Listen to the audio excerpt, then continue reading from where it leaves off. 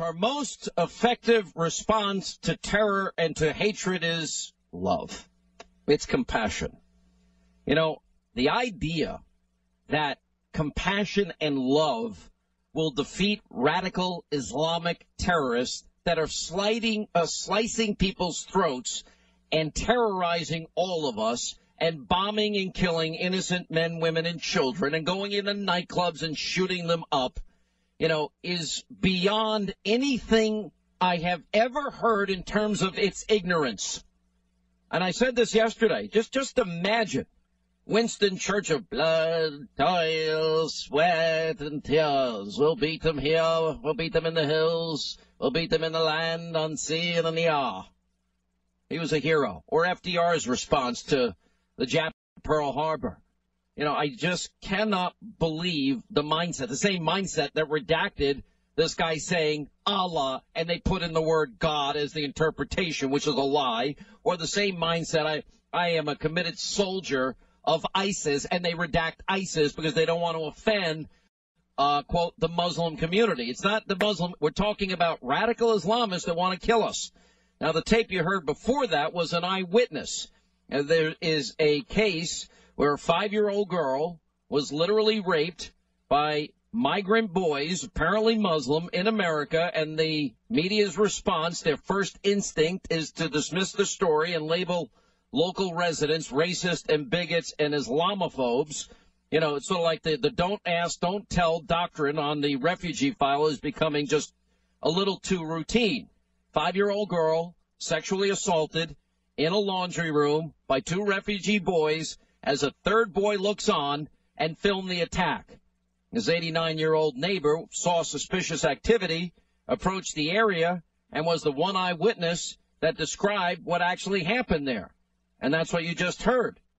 You know, you can add to this the stupidity of the the comments of John Kerry just the other day. There's absolutely no evidence whatsoever that there is a threat. Zero evidence. Refugees making it through the U.S. screening process pose a greater risk than other groups. Well, that's not what the CIA director said, the FBI director said, the assistant FBI director, former special envoy to defeat ISIS said, the House Homeland Security uh, committee chair said or anybody else. There is a great threat. We saw it in Belgium. We saw it in Brussels. We saw it in Paris.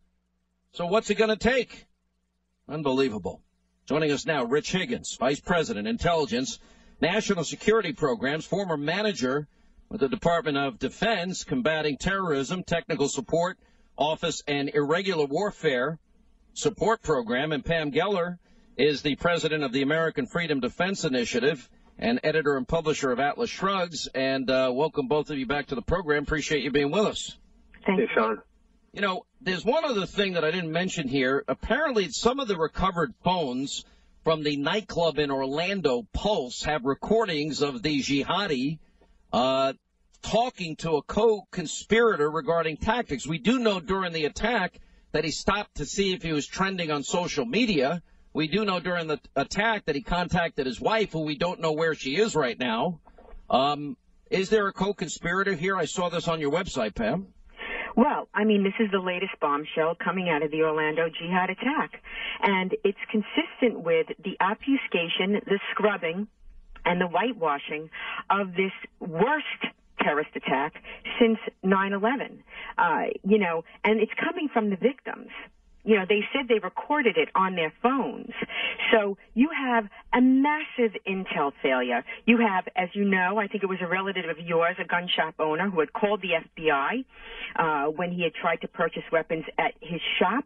They never even came down to the store. You have Disney. You have Disney who called the FBI saying that he and his wife had been casing Disney. He'd been cheering 9/11 uh, in school. He has a history, not one but two FBI investigations. One that was quashed when he said that the co-workers that he had threatened and said he was a member of an Islamic Jihad group, uh, he said they were quote Islamophobic, and they killed that investigation. This is a massive intel failure. I don't know why the Obama administration wants Americans to die. There were more red flags here than a China National Day parade. Well, I keep saying this whole thing now. Uh, I, Rich, I had you on with Phil Haney, and both both of you are are whistleblowers. Now, yours was a little bit different. He was part of the Department of Homeland Security formation, and when Obama became president, both of you talked about a scrubbing of the names that you had acquired over a long period of time of Muslims associated with radicalism, and those names were then scrubbed.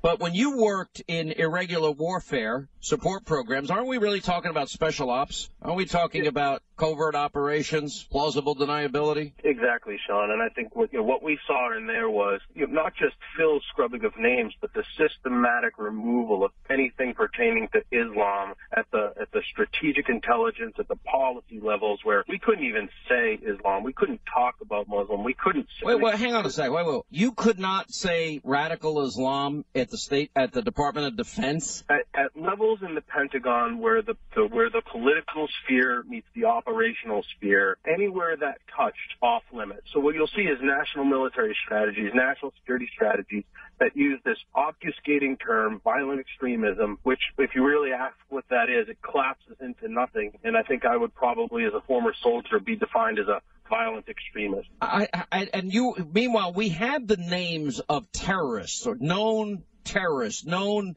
uh, people, known sympathizers of terrorism in your database, and you were told and forced to erase their names. That that was Phil's specific story, and, and it, it's it, well. Tell us your specific. Tell us your specific story. I don't want to put words in your mouth. My, my specific story is as someone who wanted to work on this issue, you know, charged with developing capabilities for combating terrorism, we wanted to build a robust understanding of how Islam at the doctrinal level functions understanding that jihad is part of Islam. And the solutions to stopping the jihad are also inside Islam, but we were prohibited from even looking in there. Anyone who did the diligence to understand this at, at a you know, at a at a level that you could actually interpret the deliberate decision making process of our enemy was quashed by the system, hunted down and pushed out of the system actively. So while we play lip service to understanding the threat doctrine, we don't actually understand it. Our generals are saying we don't have a strategy. We're wasting trillions of dollars.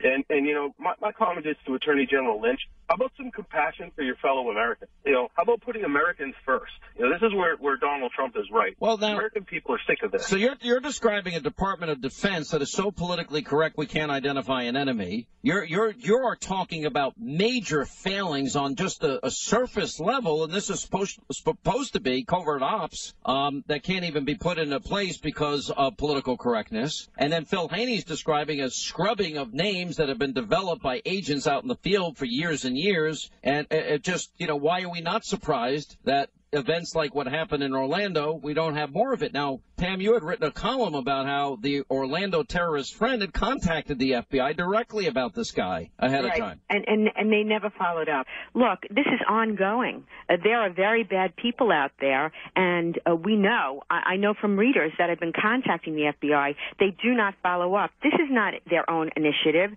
This is coming from a, on high. The idea that the Attorney General would say love and compassion will defeat jihad is tantamount to saying we must surrender. And it's not that just these egregious, gruesome, ghastly attacks. The story of that little girl, the five-year-old girl, who, by the way, was special need in Idaho. Idaho should be the clarion call.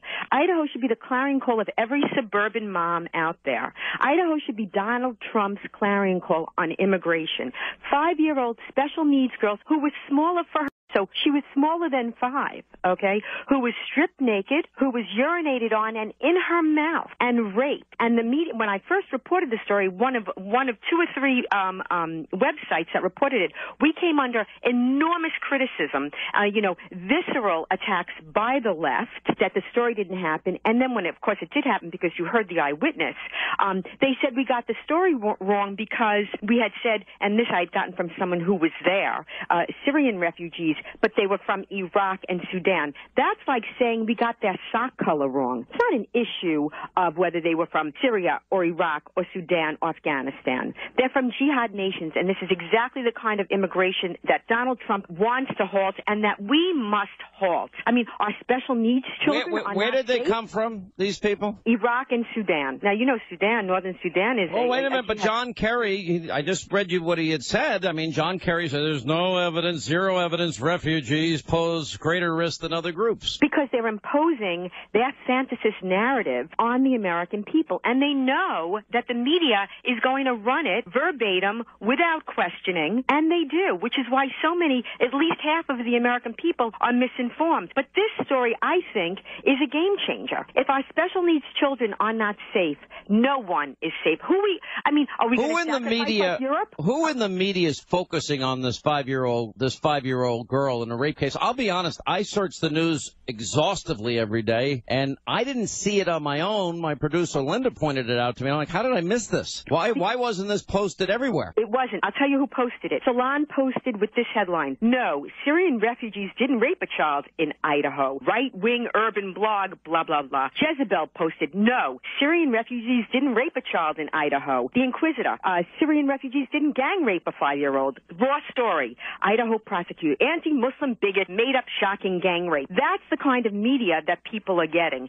And that's why what we do and what you do, Sean, is so crucial, what we do on Facebook. Look, in the wake of the Orlando Jihad, Facebook took down my page and took down Stop Islamization of America. 50, I have over 50,000 uh, members and my own page has 350,000 uh, followers. I mean, there is a, there is a concerted effort by the leftist Islamic machine to shut down any discussion in accordance with Well, look at look at what the attorney general did this week. You know, they, they released the transcript. Uh, I pledge allegiance to omitted. I pledge allegiance to omitted. May God, and I guarantee you it wasn't God, that it was Allah. Absolutely. Protect him on behalf of omitted. And then she says, our most effective response to terror and hatred is compassion and it's love. is surrender. Look, the very first words he uttered on his first 911 call was the Bismillah, was uh, Allah, the merciful, the beneficent, the same Bismillah that they made over Daniel Pearl when they beheaded him, when they made over James Foley, when they behead every infidel, every non-Muslim, every heretic, every apostate, every homosexual. All right, let me let me give the last Bismillah. word uh, to our good friend Rich. Uh, Rich, it's pretty scary. I mean, this is a stated denial. It's sort of like the 9/11 Commission report. They're at war with us. We're not at war with them, and a new report will be written after thousands are killed again. Sean, we've become dislocated from reality. One last anecdote for you. Just in the past couple of weeks, we saw as Twitter moved to shut down the United States intelligence community's access to their account. Uh, there was a program run called Dataminr. We also look back and we'll see that Prince Walid bin Talal, the Black Prince of Saudi Arabia, probably the most prominent fiscal jihadi in the world, the guy who offered $10 million to Giuliani. He's now a, a, a large, large majority owner inside Twitter Corporation, and we see where these decisions lead. The amount of influence that these guys have inside the United States government, inside the deliberate decision-making process, security apparatus, has compromised our national security apparatus. You're basically saying we're screwed. We're in deep trouble, Sean. I'm not going to lie to you. All right. I wish I had better news. I don't. 800 941 Sean. Thank you both for being with us. When we come back.